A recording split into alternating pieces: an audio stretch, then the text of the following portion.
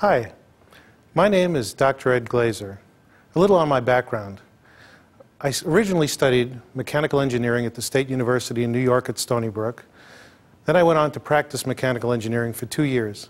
I went back to school to become a podiatrist. And I was fascinated with this machine, the foot, and how it functions.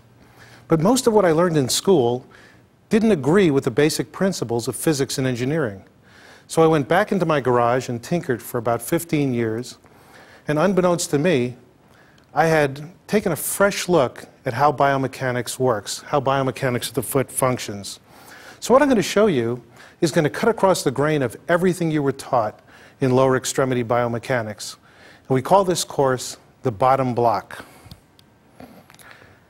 I'm going to ask you to think outside the box. In the words of Stephen Hawking, the goal of science is to have theory match observation. And what we were taught in school just didn't match what we were actually seeing.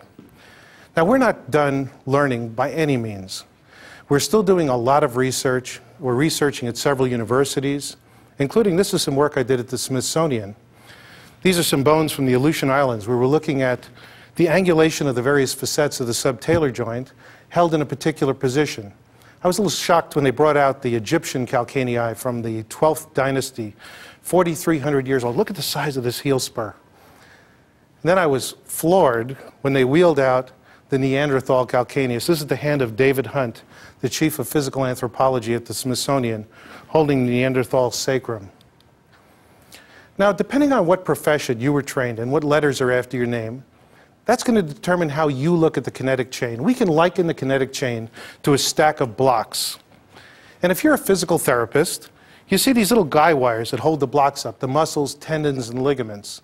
And if we can stretch and strengthen the guy wires, we can realign the blocks of the kinetic chain, and that works beautifully.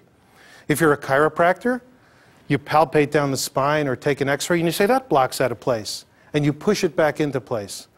And very often the guy wires will pull it right back out and you'll fight this tug of war with gravity. But gravity works 24 7. If you're a surgeon, and I was a surgeon for about 13 years, you look down a toilet paper roll and you say, What's your chief complaint? And the patient points where it hurts, and we cut on it. what all three of these approaches is missing is the bottom block of the kinetic chain. Because if the bottom block is tilted, the entire kinetic chain will go out of balance. This course is the way an engineer would look at the bottom block. And engineers see things very differently. You probably heard the optimist sees the glass half full and the pessimist half empty. The engineer sees a glass that's twice as big as it needs to be. Just a little different look. And the first thing I always ask myself when I'm going to study something new is why am I even looking at